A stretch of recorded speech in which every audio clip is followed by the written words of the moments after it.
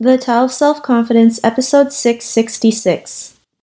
Welcome to the Tao of Self Confidence, where I share stories of amazing women who have discovered their inner journey to self confidence. Visit our website at thetaoofselfconfidence.com. Your inner journey to self confidence awaits. Well, hello, friend. Welcome to the Tao of Self Confidence, where I share stories of amazing women who have discovered their inner journey to self confidence. I'm your host today, Sheena Yap Chan, and today I have an amazing lady on the show today. She's a commercial and editorial animal photographer, author, and podcaster, and I'm really excited to have her on and share her story with us today on self confidence. So, without further ado, I'm going to introduce you to Grace Chon. Grace, how are you today? Maybe you can fill in a little bit more about yourself to the listeners. Yeah, hi Sheena. I'm so happy to be on your show. It's so important. We can't have enough content like this for Asian women. So thanks for having me on. As you mentioned, I'm a commercial and editorial animal photographer, which most people are like, what the heck is that? So I take images of animals for advertising agencies and magazines. So I shoot images for brands like Purina, Milk-Bone, Fancy Feast, pet brands, not pet brands. Like I've done stuff for Tinder and Nintendo. Um, I've had a couple photography books come out and I just started a podcast six months ago called Creativity School. So I'm busy, but I did want to mention that before I got into this whole world of creativity and art, you know, like many other Asian people out there, I was actually going to be a doctor or a vet. So my background is in biology. So I feel like my whole journey has really been about finding my own self confidence. Awesome. Well, thanks for sharing that. And, you know, I've I, I think it's great that, you know, what you're doing is like something out of the ordinary, right? I mean, I've interviewed women who've been Christmas song artists, solely sings and writes Christmas songs. I've interviewed a lady who's a fitness trainer for romantic novel authors. I mean, it, it just shows like it doesn't matter what you do. I mean, sky's the limit and you can create as many paths as you want. Like nothing's impossible, right? So yeah, some people might be like, what? But you know what? You're doing what you love. You're going out there and and living your life the way the way you want right? So i think that's great. And grace what's your cultural background? I am korean american. Was born in the united states. My parents immigrated to the united states from south korea in 1970 thanks for sharing that. And what would be your favorite self-confidence quote my favorite self confidence quote really are any to do with the power of just being yourself and loving yourself as you are. So there's so many quotes like that, but the one I chose for this interview is confidence is not they will like me. Confidence is I'll be fine if they don't. And a singer named Christina Grimmie said that, and that just spoke to me very deeply.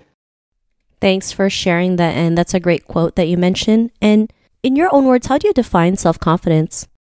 I think self confidence is really having the ability to radically love yourself and accept yourself exactly as you are without having to be anybody else, without having to act a certain way to get people to like you. I think there's so much power in fully owning who you are exactly as you are and not being afraid to be that person out in the world. Like just take off all your masks and be you.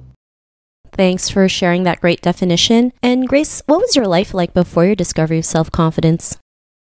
I grew up in the suburbs of Pennsylvania, or suburbs of Philadelphia in Pennsylvania, and there really wasn't very much of an Asian community out there. And so growing up in school, I just felt so invisible and like an outsider. And I know that that's an experience a lot of minorities and Asian Americans experience. And I really just felt so different and I felt like I didn't have a voice. And I mean, I just completely felt invisible. But it was like paradoxical because while I didn't like being invisible because I felt like I didn't have a voice and I felt like I couldn't ever really be myself. I also enjoyed being invisible because I felt like I stuck out so much already. Like being invisible provided me safety and comfort from people picking on me or bullying me. And, you know, I have encountered a lot of racism growing up in school and just I think that because of all these experiences and also being a woman, I think women are taught to accommodate other people, to make themselves smaller, to make other people feel better. And like I mentioned, these masks, like we wear so many masks out in the world so that people like us and so we fit in. And I think that's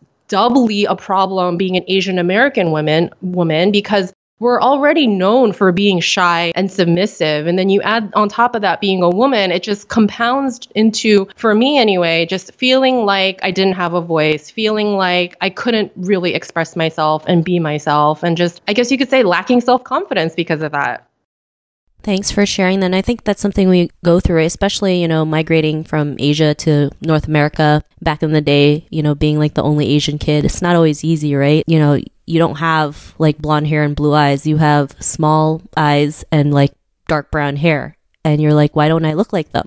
right? Yeah, eh, yeah. And then on top of the fact that you don't even see yourself in the media or in entertainment or anywhere else. Yeah, I totally agree. I mean, like the first Asian show I ever saw in, in Canada was like All American Girl with Margaret Cho. And that was like, oh my God, finally, like, you know, an Asian person. But, you know, now it's it, the, the representation is starting to increase, which is great, right? To show others what's truly possible. And what was that point in your life when you realized you were more than enough to go out there and be who you are today, have that confidence? What was that aha moment?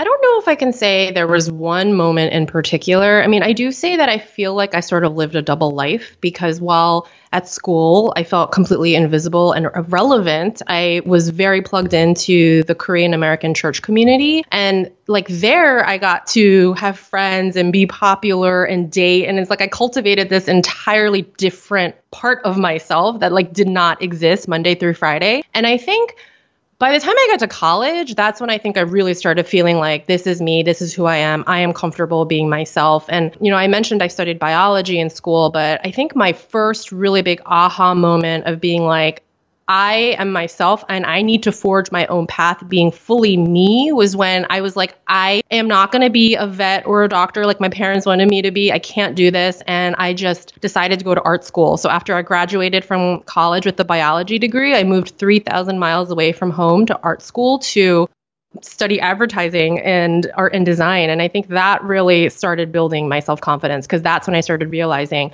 I'm actually good at this. And unlike what my parents and everyone else has told me, I can make money being creative.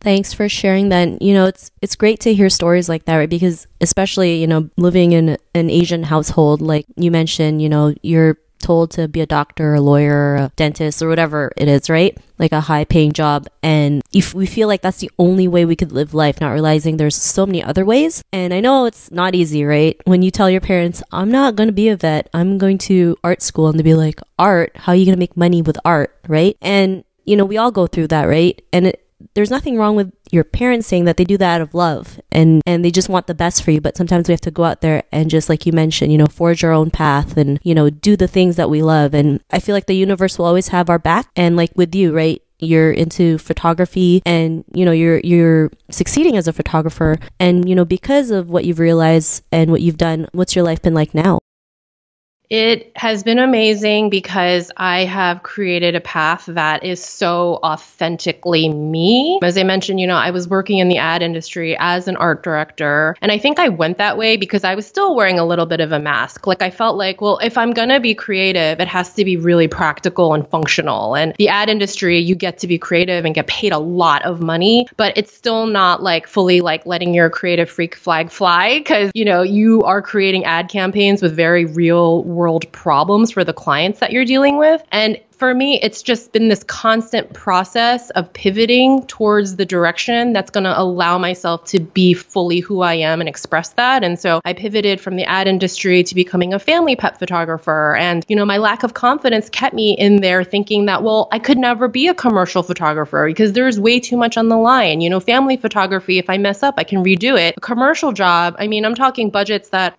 are $300,000. That's not all my money, but that's all the money that the client is paying for a couple days of shooting on set. There's so much on the line. I can never do that. And I ended up finding myself in there in that world. And so I've been a commercial photographer now. And even with podcasting, that only started six months ago. And I kept myself really small. You know, I said I felt like I didn't have a voice. And for a long time, I felt like that with my photography. Like I was comfortable with being invisible with my photography. Like I can put my photography out there, but I'm still going to kind of hide behind that. And starting a podcast was just yet another pivot where I'm owning the fact that no, I have a voice, I have opinions, I have a philosophy on creativity, and I'm going to start a podcast and share it. And that only happened six months ago. So I think the really cool thing about confidence is that it's always evolving and allowing us and wanting us to be the biggest better version of ourselves. And I know this isn't the end. I know I'm always going to be doing that and I'm always going to keep growing and I'm just going to keep getting more confident in who I am.